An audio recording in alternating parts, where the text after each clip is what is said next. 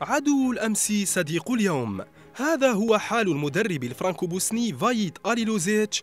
فبعد قيادته للفيلة الإيفوارية في كأس أمم إفريقيا 2010 وتلقيه هزيمة ضد محاربي الصحراء في موقعة كابيندا تاريخية ها هو الآن عنوان يتغنى به الجزائريون بعد أن بلغ بسفينة محاربي الصحراء إلى بر الأمان ورسا بها في ميناء ريو دي جانيرو تحسبا لمعركتي بيلو أوريزونتي وبورتو أليغري.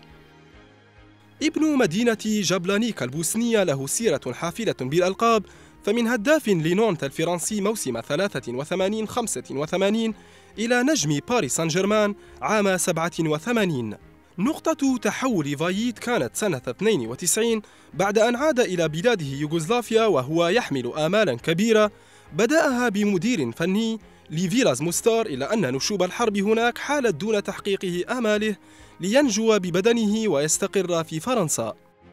تنقل بعدها إلى المغرب سنة 98 مدربا للرجاء البيضاوي حيث استطاع في موسم واحد أن يحقق معه البطولة المحلية وكأس إفريقيا للأندية البطلة ليعود مجددا إلى ليل متروبول الفرنسي ويصعد به إلى حظيرة الكبار نال على إثرها سنة 2001 لقب أحسن مدرب.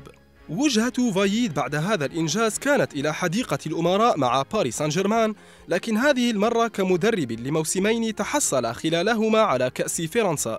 خريج معهد سراييفو جدد مغامرته إلى تركيا مع نادي ترابزونسبور ثم اتحاد جدة السعودي مرورا بمنتخب ساحل العاج الذي خان فايد وأخرجه من الباب الضيق رغم تأهيله إياهم لمونديال جنوب إفريقيا لكن القدر أنصف العجوز ليحقق حلمه من بوابة المنتخب الجزائري.